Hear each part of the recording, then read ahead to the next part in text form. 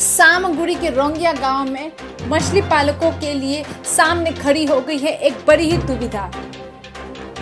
मछली पालक मछली ना बेच पाने के कारण नहीं जुटा पा रहे हैं मछलियों के लिए चारा और दवाइयाँ, जिस वजह से उनके तालाब की बड़ी बड़ी मछलियाँ मरकर पानी के ऊपर आ चुकी है और मछली पालक स्वयं ही इन मछलियों को निकालकर चील और कौओं को भक्षण के लिए दे रहे हैं। आप इस दृश्य में देख सकते हैं कि किस प्रकार मछली पालक बसंत सेकिया स्वयं ही अपने तालाब से बड़ी बड़ी मछलियों को निकाल कर चील कौओं को भक्षण के लिए दे रहे हैं।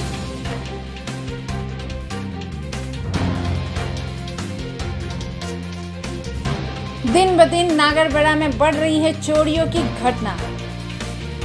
चोरों ने चलाया एक सफ़ाई अभियान जिसमें उन्होंने नागरबेड़ा के शनि मंदिर में लूट ली दान पेटी। खबर मिली है कि उन्होंने दान पेटी को तोड़ दिया और उसमें से लगभग 20 से तीस हज़ार रुपए लेकर भाग गए। मंदिर के पुजारी ने इसकी इतला पुलिस को कर दी है। पुलिस इसकी जाँच में जुटी हुई है। गुवाहाटी के दीपोर बिल में मिला है एक सियाल का शव लोगों का कहना है कि सियाल की मृत्यु हुई है। सुअरों के खाने से।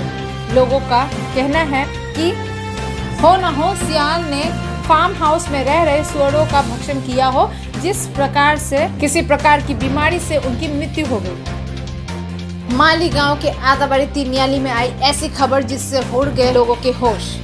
कोकड़ा कोकराझार के क्वारंटीन कैंप से भाग निकला एक व्यक्ति। व्यक्ति का नाम है पिंकू दे।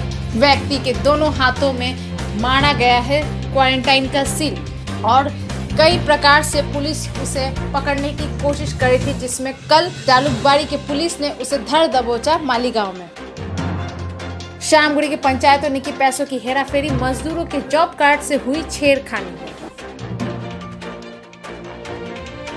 जूरिया में पुलिस ने चलाया अभियान।